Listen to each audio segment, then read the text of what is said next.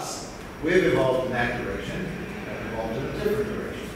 You know, they evolved so much, it's just sticking to what they, they know. But I look at the structure, I haven't changed the structure, all I've done is added what it needed, subtracted some of the fluff, and just kept the stuff, the, the, skeleton of the system, so yeah, what I know, forty years ago.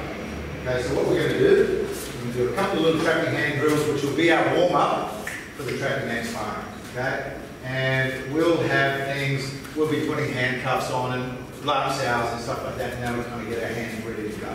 So we're just gonna start with this one. One, two, he's gonna throw a round punch off that side, from there and into the right. Okay, so it looks complicated, break it down into some of its parts.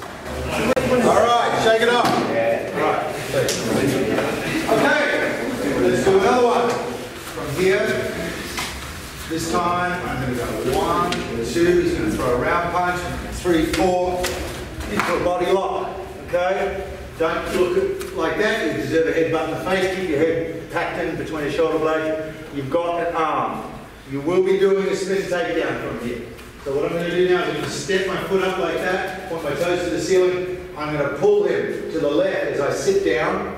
And at that critical point where I know he's going to land on my arm, Release the grip, because once he's past the tipping point or the point of no return, stop sweeping and start thinking about where you want to be next.